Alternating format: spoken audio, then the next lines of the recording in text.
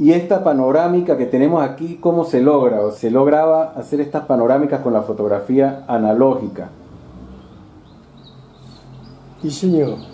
Son las dos, se unen las dos.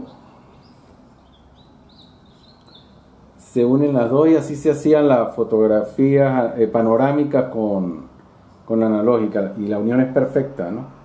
Mm. La unión es perfecta, no se nota nada. No se nota absolutamente Hombre, nada. aquí se nota porque no está. Sí, el... ¿Ves la montaña, la sierra aquella? Sí. Los piquitos que se ve aquí y allí. sí, aquí No se nota nada. No se nota, sí, es que está la unión de las dos.